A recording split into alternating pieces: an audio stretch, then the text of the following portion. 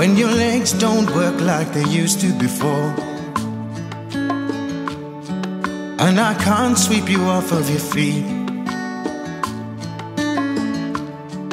Will your mouth still remember the taste of my love?